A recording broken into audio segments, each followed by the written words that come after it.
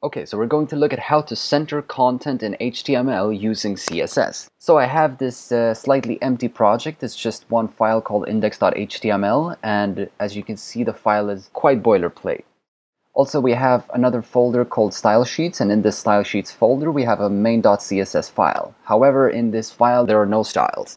So returning to this uh, index.html file, having a look at what it looks like in the browser, it's just an empty page. So Let's get started and assume we have a text which just says hello world and is an h1 tag, meaning it's a header. So the, the goal is now for this text to be horizontally centered into the center of this page. Now the most straightforward way of uh, achieving this would just be to add the center value to the text aligned property and putting this on the selector body. Now we might put this on the selector directly, we could put it on H1, but now I chose to put it on body. This would put the text into the middle of the page, quite straightforward. Now, however, let's assume that we've actually put this H1 tag uh, in a div. And this might be because, let's say, for this div, we want to have a background color of red. So what happens now is that the div is filled with the color red, and the text is still centered. This is because CSS cascades styles. So we've said that uh, everything inside body should have the text align center, which means that uh, the text align centering cascades down from body down to the div and down to the h1. However, what happens with a div is that the div remains in its sort of default state where it just stretches out to the page. So it might appear as, as that the div is horizontally centered, but it's actually not. It's actually just stretched out. We can illustrate this by giving the div a fixed width of, let's say, 400 pixels. Now you can see the div has a fixed size, and thus it actually aligns to the left and not to the center, whereas the text inside the div is still uh, horizontally centered. Now a hacky way of solving this would be to change the display property of the div and say that it's an inline block. That would actually put it into the center. So now the div behaves almost like an inline element. However, I wouldn't recommend doing this, but I just wanted to show you how, how that behaves. Another interesting property would be that if we duplicate this div, we would see that these divs stack up next to each other. Now this is an unnatural behavior of div because if we remove the inline block statement, uh, these actually stack up after each other. So the default state of a div is to have uh, display as block, right? But we put it to inline block. So uh, let's remove this second div and let's get on to another idea. So the most common approach would be to say that the div has a margin which is zero and auto. Let's have a look at this. That puts the div in, into the center of the page and the text remains at the center because we've kept this text align center property. Now the reason this works is that we have the width of 400 pixels. If we remove the width of 400 pixels and refresh the page, we're back into the state where the div just stretches out to the whole page. So for this to work, we need to have some kind of width for the div element. And let me also say that margin 0 auto actually means the same thing as margin 0 auto 0 auto. And this actually means the same thing as saying that margin top is 0 and margin left is auto and margin etc etc for right. So left and right goes to auto, top and bottom goes to 0, right? And this is just a shorthand for saying this is the top uh, top bottom value and this is the left right value. So this is just CSS shorthand. But anyways, this works if we put it to uh, fixed width. Now what we could do of course is just also to say something like, I want the width to be 25% of the page. This also works. We could say this is 60% of the page. So let me just show you that if I resize it, it still stays into the, in the middle of the page. Okay, so let's now look at a slightly more contrived way of doing this. What we could do is that we could also use the idea of positioning something absolutely. Now, to position something absolutely means that we want this particular element to ignore the regular flow that it would have in the document and now we would just put it into any kind of position. So what we could do now is just say something like top 20 pixels and maybe right uh, 100 pixels. This would look something like this. So we're now pushing it down from the top of the page or from the top of its container by 10 pixels and from the right 100 pixels. And now you can see if I resize the page, it sort of stays fixed and no matter how, how we would do it, it just ignores its regular flow. So how can we use this to our advantage? Well, we could what we could do is that we could say left 50%. This puts it in the exact middle. However, it puts the top left corner of the box in the center. So if I make the windows smaller, it becomes clearer that this is the center, but we actually want the center of the div to be in the center of the page. Now, how would we accomplish this? Again, let's let's give the let's give the box a width. So let's say that it's 200 pixels, and now we could do something like give it a margin which is negative, which is half of the width. That would put it in the absolute middle. Let's have a look at this, and it's in the middle. Now this of course forces us to put a fixed value into the width of, of the div. However, what we could do is again use percentages. So let's say that it's 40% um, of the page. We want the width to be 40% and then set the margin left to be half of this width, which would be 20%. So we're saying have a width of 40% and have a margin left of negative 20%. We'll refresh this and we can see that we're now using percentages and if we resize the page, we're still always in the middle but the box also resizes. Let's just rock another value. Let's say 80% and half of 80 is 40. Right? We're in the center of the page. The box resizes. and It's all very adaptive. Okay, so let's now look at something more interesting.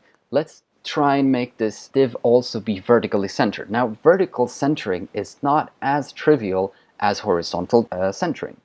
So one could imagine that what we could do is just say that, okay, well, uh, we could do this with percentages for left and right. Let's just do the same thing for from, from the top. So let's, let's say that we'll have a top placement of 50% and we'll have a margin top of negative uh, of the height. We haven't specified a height yet. So let's uh, assume it's 40%. So half of 40 is, is 20. So now we'll say that the height is 40%. So the interesting uh, the, the important point to note here is that we've set the height to 40% of the page, and that we've set the margin top to be half of this height, so minus 20 as half of 40, and we're putting it into the vertical middle.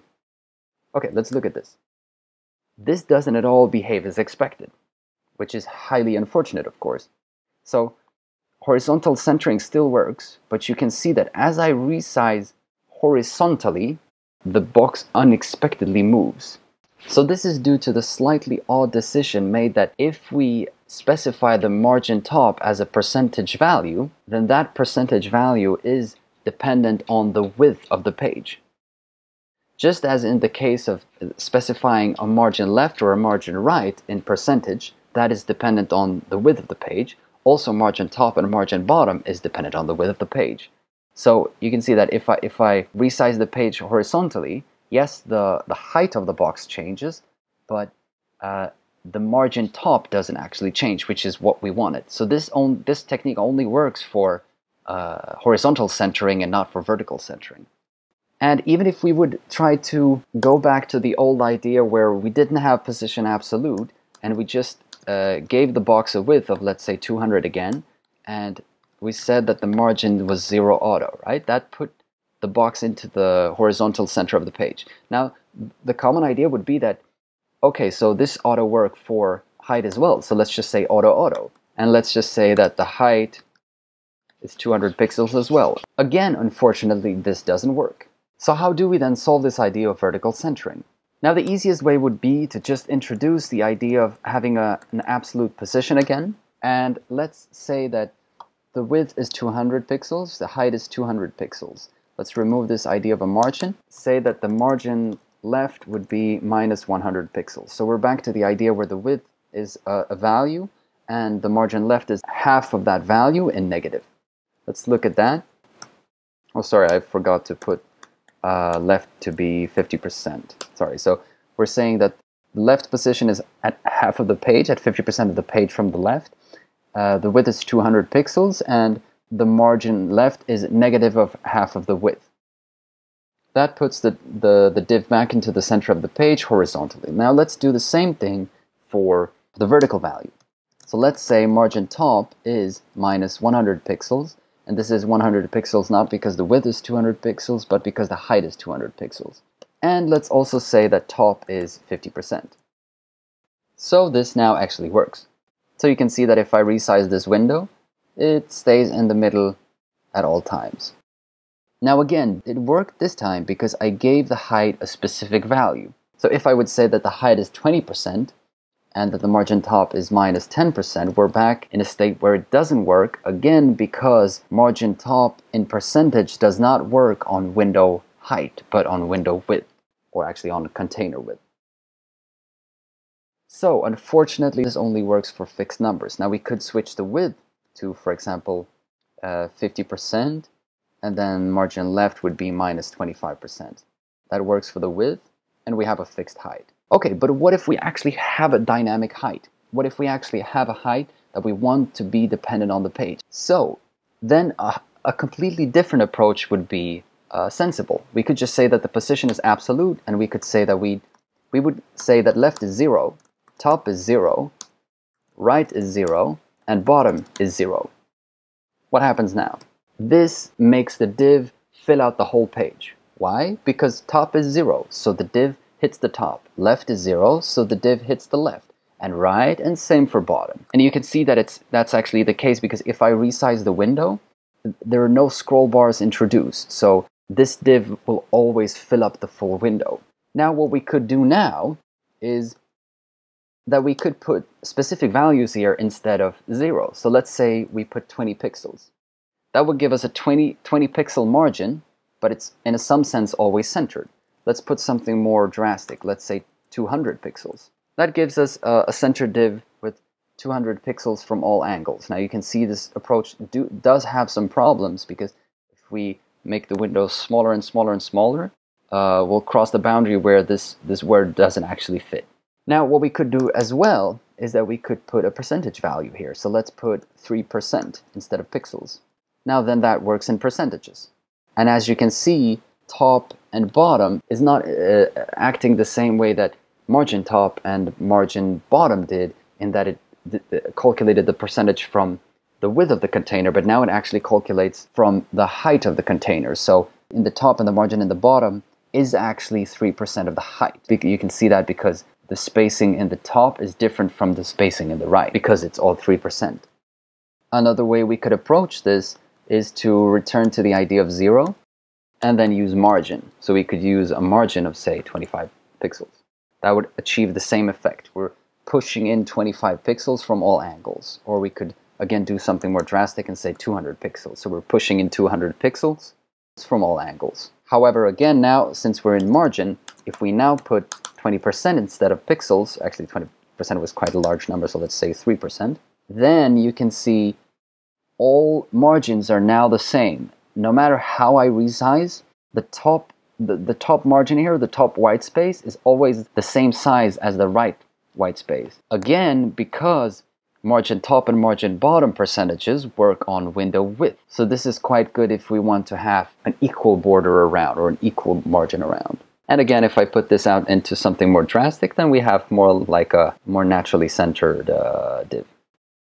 So the last thing I want to show you is that I want to approach this problem where if we resize the window, where if we resize the window and make it too small, the text sort of flows outside of the div's boundaries. Now the easiest way to approach this would just be to use uh, the min height attribute because it's the height that's the problem. Maybe we could just say that the min height would be 200 pixels. What happens now is that no matter how we resize it, the height cannot be lower than 200 pixels. So if I make this page very small, we instead get a scroll bar. We're still pushing down 50% of the page height, but now we get a scroll bar instead.